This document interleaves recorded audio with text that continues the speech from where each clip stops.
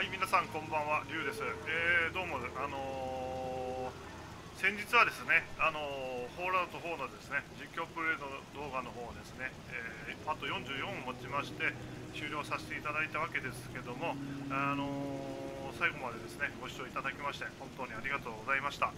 えーとですね、今回はですね、特には実況動画というわけではないのですが、あの居住地のですね建築について、あのちょっとですねあのいろいろ工夫少しずつあの工夫できてですね少しずつなんですけどまたこれもうまくなってきてるかなと思いますのでまああの拙いですね動画ではありますけどもあの拙い動画とですね説明ではありますがあの私のその居住地のあの クラフトのこう解説っていうかご紹介をですねあのさせていただきたいと思います。よろしくお願いいたします。ちなみにあの2週目であの今度はこの男性キャラでやってます。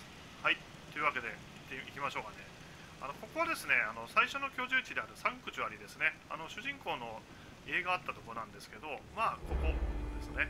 まあより人が生活してるかなってあの生活してるかなっていうような雰囲気を出すためにですねまあこういうアイスクーラーとかこの自販機とかですねゴミ箱置いたりとかあと呼び鈴ですね置いたりしてますで内装はですねあのまあもうシンプルにあのソファーがあって可愛いな書いてたで、まあ、テレビがあってっていう感じですね。であのここにマガジンラックまだここら辺置いてないですけどマガジンラックを置いて、えー、ここにコンロですね。あちなみに今の音はこの音はこのコドワーツがですね。はい。行っていきましょう。でまあここにマストマスト入れがあってここは何もないですね。あこれはですねあのモッドで追加したあのヒューズボックスなんですけどこれすごく便利がいいんですよね。いろんな種類のあの出力の種類があってですねこの超スペースで場所取りませんし高出力なのですごく重宝してます。ありがたいことですね。はい。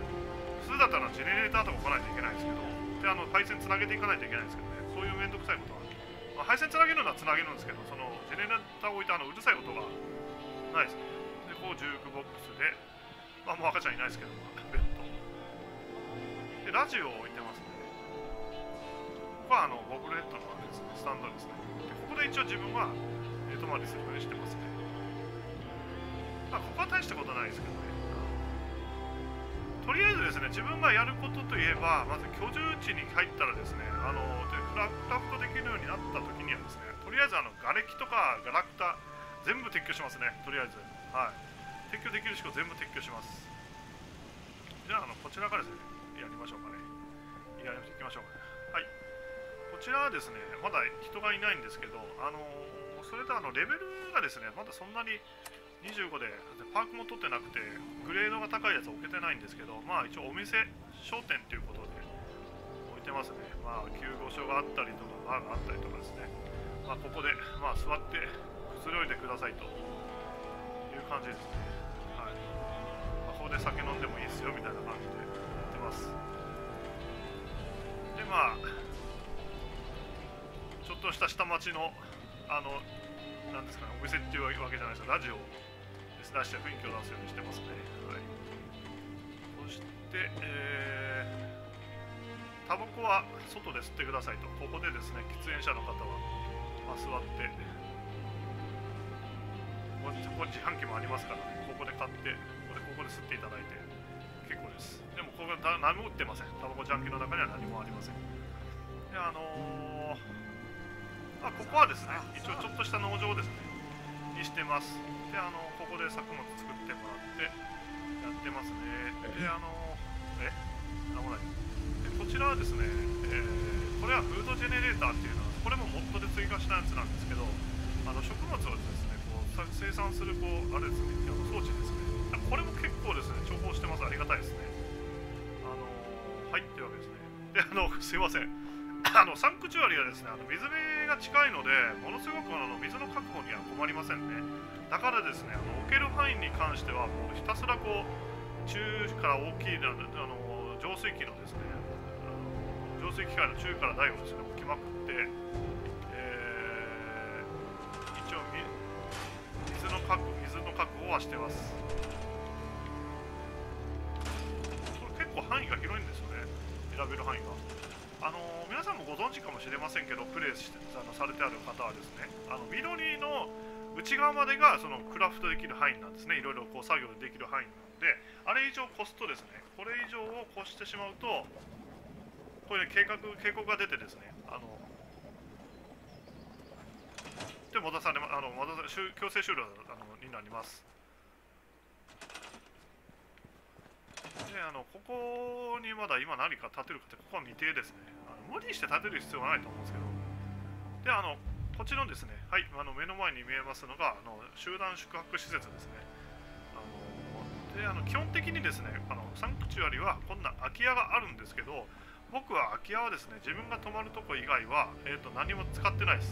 ガラクタだけ撤去して、えーと、他のは全く使ってないです。ここはもうだからもうガラーンとしてます。ここですね。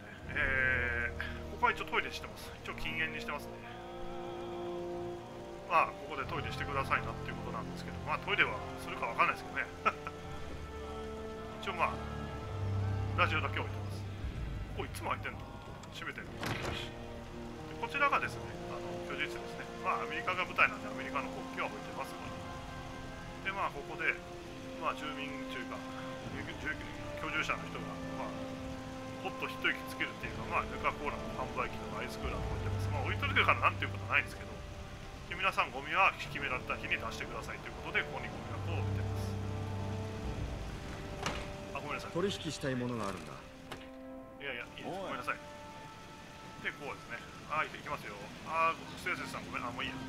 はい、って言ってた。これ1回ですね。えー、っとですね、1回もですね、まあ、テレビつけたり、ラジオ置いたりとかして、まあ、結構適当なんですけど相変わらず適当は適当なんですけどまあこういうふうにソファーを置いてですねあのくつろげるようにはしてます。あの壁が殺風景だったのでとりあえず絵をですね置きた置ける宿はどんどん置いてます。はい。まあ適当に置いてるんですけどでここで寝袋置いてます。ここで皆さん寝てください。ということですね。でこれはですね2階があるんですよ。2階と屋上があるんですけどでここから上がりますね。ここは2階です。2階はですねあのこういうふうに見晴らしがいいあの空き窓になってますね。であのー、ここでですねあのくつろいでいただいてまあこういう感じで外をですねこう眺めながらあのまああんまり見晴らしはいいとは言えません言えませんけどまあこういう感じで。まあ見えますよ。ということですね。でここはですね2階はこのベッドを置いてます。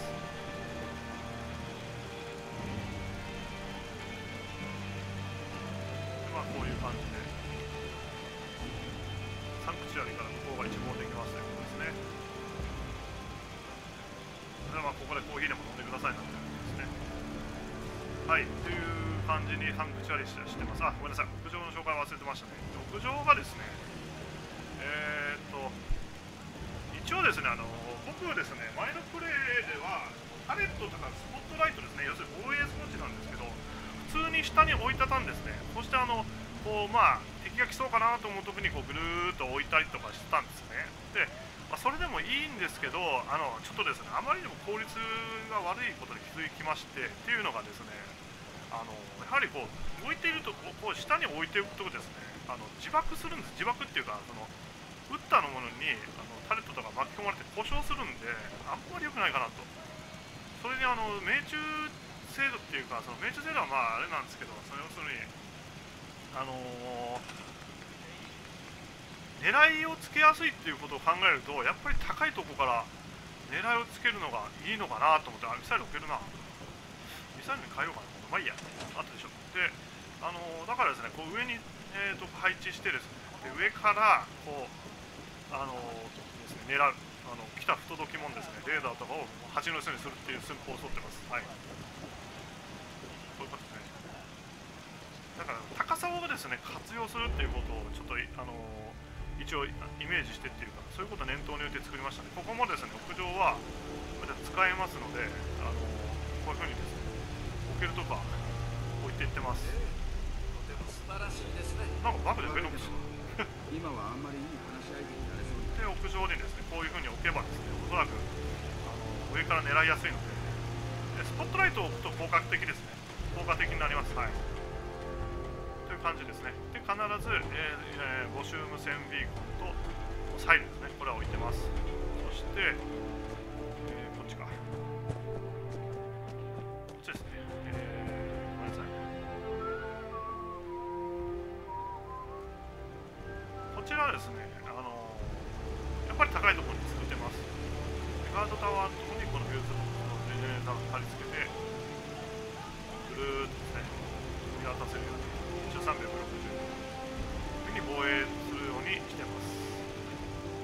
まだですねここは容量があるのでこういうところに建てられるんでですね。まあいずれまた考えてみたいと思います今回ではちょっとしません。はいじゃあ次はですねまだあのそんなに全然このクエスト進めてないんですね。あのなんでかというとやっぱりこうクラフトばっかりしてて進めてないんですよね。じゃああのここのですねサンクチュアリ、えーここのと含めて12345個5箇所今開放してますのでそこの紹介していきましょうね。ちょっと駆け足でいきますけどすいません。あのちょっと説明も下手ですけどまあちょっと見てご覧いただければと思います。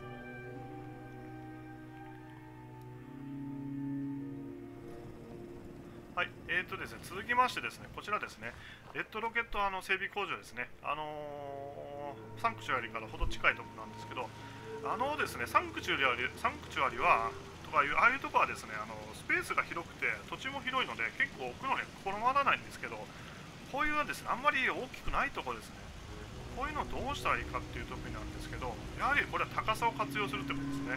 えー、と高め高いところにこう建築していくということですね。下に普通にですね建築していくとですね、絶対スペースが足らなくなるんですね。だからですね、上を活用するということで、あの今回もやってます。まあ、ここら辺はまあ畑とか、あのこういうの植えてるんですよね。あのポンポンプとかですね。働いて働いて働いて。分かったごめんなさい。働いて働いてもらいていいか。分かった働きたまえ。働きたまえ働きたまえ。いいぞよし、こういう感じで働いてもらいましょう。はい、ごめんなさい。という感じで、とりあえずですね、ガラクタはとか、備え付けのやつはもう全部一応とりあえずは撤去してます。撤去してすっきりして、一から作ってる感じですね。まあ、使えるやつは使ってるんですけど、とりあえず撤去した方が効率はいいと思いますね。で、これは上に作って、ここちょっと失敗したんですけど、ここまではいいんですけどね。で、行きましたと。で、まあ、こうタバコ吸いた人はここでどうぞっていうことでですね、あのー、なんでこれこんなとこにいるの？ここや。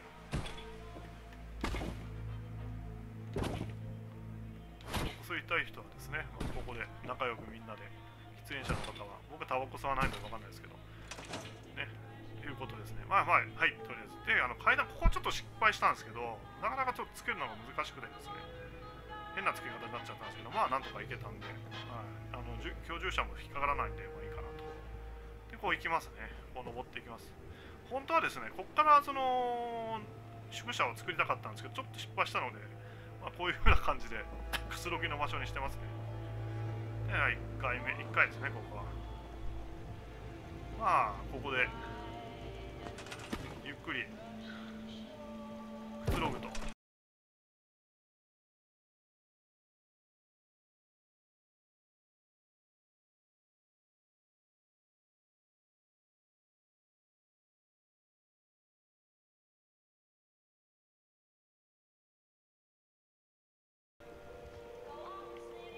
まあ、また案の定。だって私が作るのワンパターンなんですけど、こういう絵とか、殺風景だから絵を置いたりとか、なんとかなんとかして、テレビとラジオでもどうですかと。は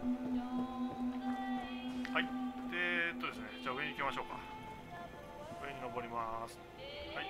で、上はですね、あの、なんですか、秋窓ですね。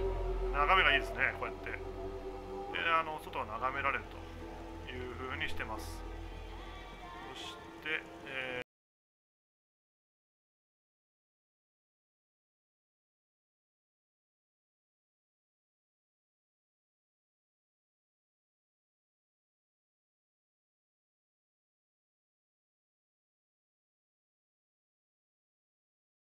寝るとことかのは配慮してなくて、もう適当にですね、もうこんなん何も軒下でもないとこにですね、こんな適当に寝袋ドドドドドンと置いてですね、あの、もう適当に寝てとかやってたんですけど、満足度とかおそらくそれ下がるんですよね。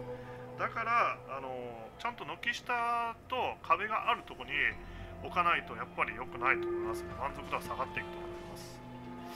あとはこんなもんかな。あとこういうのはですね多分備え付けだったんで壊してないんですよね。こういうのがつけたのかな？簡単に、まあ、ここで料理してくださいっていう感じなんですけど。あとはないかな。ここら辺もあアーマーステ何やったかな。あのがあったので全部外してまた付け直したんですよね。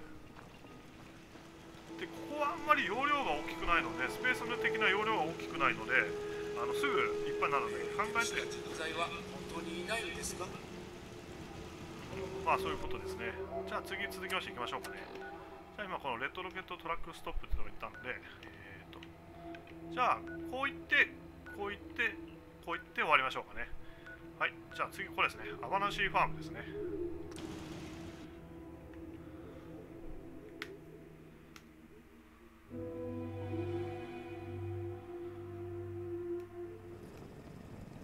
はいあのアバナシーファームはですねやはり農場でっていうだけあってものすごくあの広いです。あの範囲もですね設置できる範囲も広いですしあの容量もですねあの結構広いんですよ。だからですねかなりこう建て替えがあるんですけどあのまあ、どうするかっていうねまた建て方ですね。だからですねここも広いんでここら辺にこう一気にと建ててもいいんですけど僕はですね今回ちょっとあの向こうの方にロケットペンダントを手に入れるのにどんな危険を犯したのか知らないけど。はいまあ中もですねもう備え付けのテーブルとか最初あったんですけどそういうのは全部と取っ払いましたね。あのガラクタとかそういうクラフト素材のやつは全部取っ払ってあのすっきりゼロにした状態で一から建て直してますね。屋上はですね普通通りこうあったんですけどここにですねやはりタレットスポットライトを置いて一応防御地点にしてますね。はい。ここから狙い撃ちするということですね。これは変わらないですね。高さを使うっていうのは変わらないです。どこ行っても基本的にそういう風にしてますね、あ、ここはスペースが比較的に余裕があるんでそんなにこのあの頭痛めることないと思うんですけど。でまあこっちですね。こういう風な感じで高いところに、えー設置してます。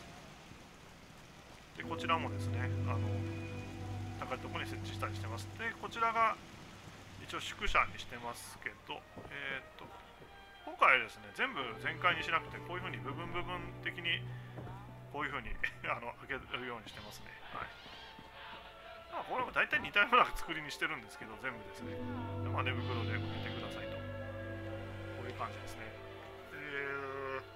でやはりですねあの地面にですねこう普通にこう蓄積していこうと思うと結構スペース的な問題でですねあのできませんのでだからこう高床式倉庫ではないですけどああいう風な手法を使ってですね高めいとこに作っていくのがいいみたいですね音ととそうしないとスペースが確保できないっていうのがあるんですね。でいらないものはですねもうとりあえず撤去すると。撤去してすっきりして作るスペースを確保すると。そうしないとですね結構大変ですね。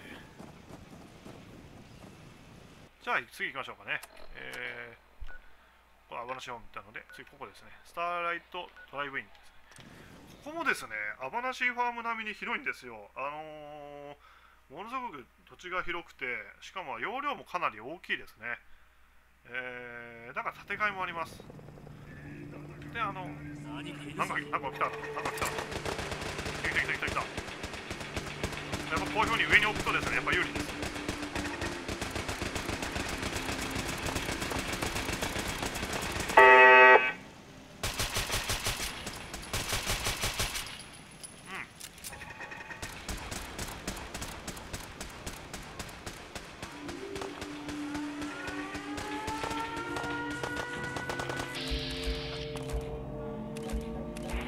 こうのあれが壁に阻まれて起動してなかったですけど。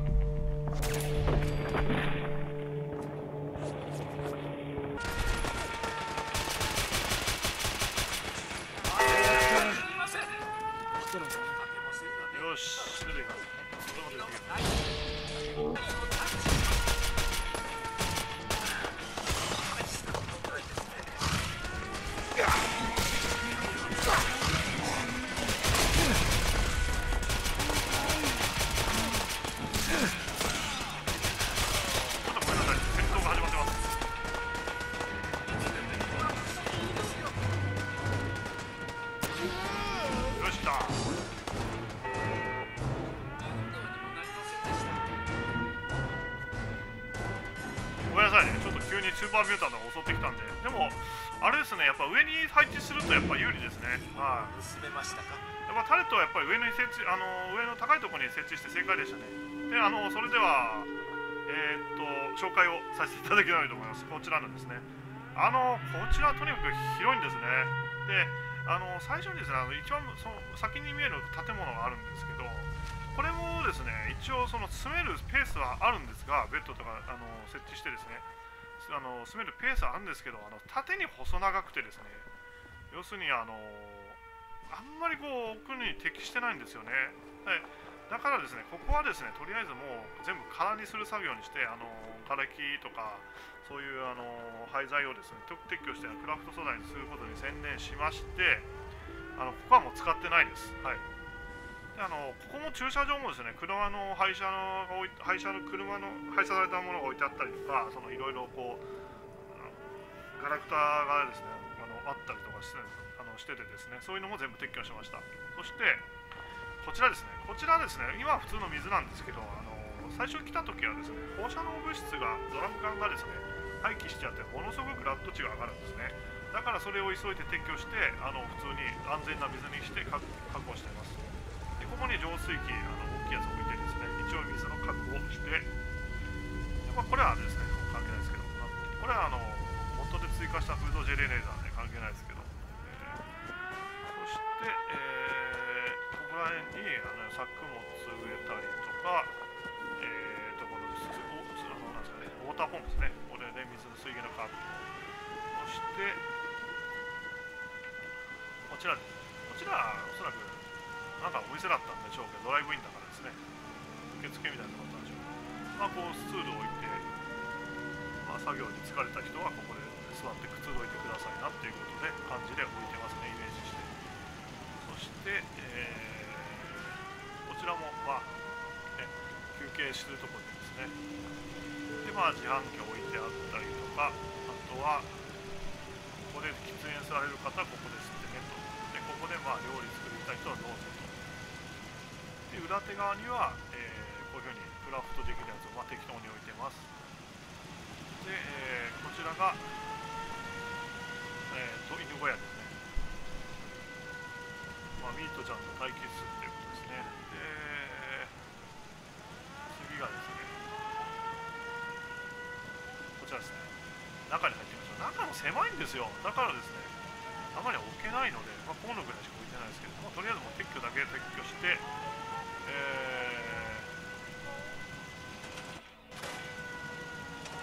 上もそうなんですけどとても居住地には使えないのでまあ撤去してあのすっきりしてます使ってませんここはですね比較的広いのでそんなにあれなんですけどやっぱりどうしても高いところに作っちゃうので高床式にしてまあ どこも作りは同じなんですけどね。まあ見晴らしよくはしてるんですけどいう感じでここで止まってくださいと。でまあ電気はここもつけてますね。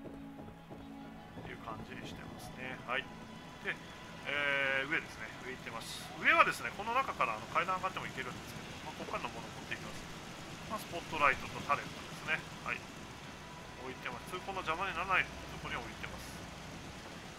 でこういう風に設置して、えー上から敵を倒すと今さっきみたいに結構有効なやっぱ手段でしたね。高いところに設置するのはやっぱいいみたいですね。という感じですねここはですね。でこことですねアバラシーファームとかサンクチャー広いからまだいいんですけどここですね次は、えーテンパインズの断崖とかいうここはですね、まあ、狭いとこたくさんあるんですけどここ結構狭いんですよ。崖崖のとこだからですね、まあ、立地条件が非常に悪い。だからそうしたらどうするかっていうとやっぱり基本はあの高さを利用すると。あの高高く作ってあのやると、えーだからですねここペースがあスペースがそんなないんですよ。だからですね普通に床にこうですね敷設して作ろうと思ったらとてもないけどできないのでやっぱり高いとこが有利ですね。で高くしてあのそういうふうに居住地を作るってあの居住地っていうかこういうですね人が住むようなところを作るあの利点の一つとしては利点利点としては下のですねこうスペースがこうあるんですよ。だからここにですねこういうふうにあ置けたらちょっと動きにくいですけどこれ植えたりあの植え植え付けたりとかですねこうウォーターポンプつけたりとかその作物植えたりとかできるようにしたりできるのであのこれは一番いいですね。はい。でこちらもですねまあ扉はないですけど、まあ、ここで、まあ、似たような作りですけどね、まあ、紹介してもあれでしょうけど。紹介してもあれっていうかあのあんまりあの変わり映えしない動画で申し訳ないですけど、まあ、こういう感じですね。でちゃんとこう壁もあるし軒下もあるから雨風に打たれないと、まあ、風は入ってきますけど。であのここ前はですねここにですね寝袋とかドドドドンって置いてですねもう天井とか何もないじゃないですか。だからもうそれで満足度とか全然上がらなかったんですけど今もうここは単純にもうくつろぐ場所ですね。はい。でタバコ吸いたい人どうぞみに灰皿一つ置いてますけど。そしてえー、っと。そのスーツ知ってる。あの地下に住んでる人だろ？そうそうでこういうふうに高いところにパレットは置いてます。であのこっちもですねあのこういうふうに高いところに一応パレットを置いてます。一応サイドも置いてますけどそしてまあここはですねまあここはまあ普通に置いても大丈夫かなと思ってそのまま下に置いてますけどここもうすぐこんなにいっぱいになるとも置けないんですよね。こういうの配置できないので。ですね。でまあこういう感じでですねあのー設置してるようになったりですねだいぶこうすっきりしたんですね。はい。だからその今まではその廃材とかの量に物を言わせても置ける仕をガンガン置いていくっていう方法だったんですけどやっぱりちょっといろんな方のですねそのクラフトをされて動画上げてある方がいらっしゃるんですけどそういう方の参考にさせていただいてですね非常に勉強になりましてであの高いところをですねこう有効に使うようにしました。そしたらですねかなり小スペースになってですねあの見栄えもいいからですねあのかなりいいですね。やってても楽しいです。というわけですねあのすみません。ちょっと下手な説明で大変分かりにくいところがあったかもしれませんけどあの私がこういうふうに居住地を作ってますっていうことの、えー簡単なですね。あの紹介動画をさせていただきました、えー上げさせていただきました、え最後までご視聴いただきましてありがとうございました、えそれではですね、あのまた単発でこういうふうに動画を上げていく時があると思いますのでその時は、えよろしくお願いいたします。それでは皆さん失礼いたします。